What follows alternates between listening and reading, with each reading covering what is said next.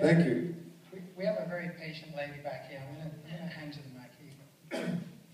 Hi, uh, great film, very funny. Um, my is Jen, and in the film, uh, Nina Simone is cited as wanting three things.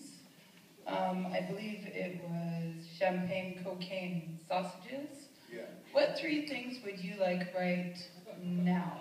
Oh, no, that's too hard. I don't know. That's a good question. though. Um,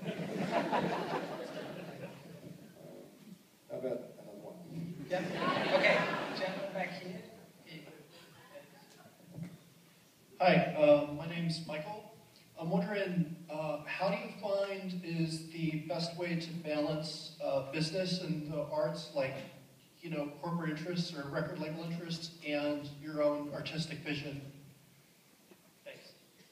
Um, for a very long time, we we um, we tried to do it ourselves, and uh, and I've uh, none of us were very good at the business side part of it.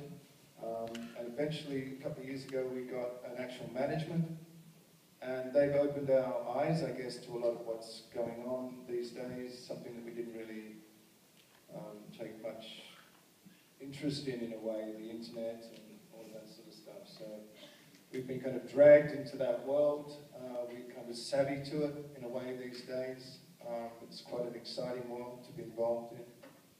Um, but at the end of the day,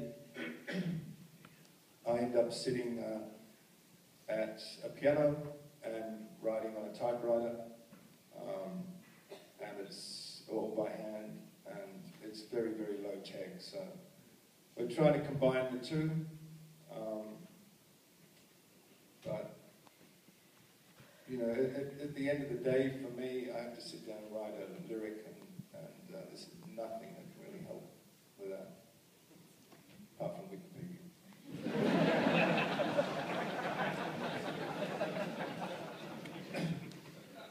We got a question over here, stage right as well. I wish I could see you a bit. Thank you for your wonderful, savage, and sublime show on Monday night at the Warfield. It was amazing.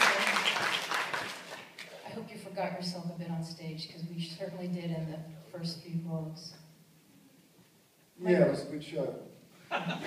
But don't any, don't expect any of that transforming stuff here tonight. I don't do, I don't do transformations of Q and A's. Uh, my question is to you. Um, about a year ago, you, in a during an interview, you said that you were a bit bored with the screenplay format.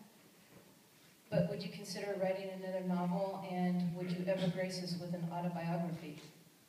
Uh, I wouldn't do the uh, autobiography. I wouldn't do that. Um, I don't think. Those things got desperate. so never say never and all of that. But um, and maybe I'd write another book. Um, I've kind of gone off the whole screenplay, the screenwriting thing really. Um, I really enjoyed the first one, the proposition. I didn't know anything about how to, how to write a. Yeah. I went in that, uh, you know, went into that under a great cloud of unknowing, uh, and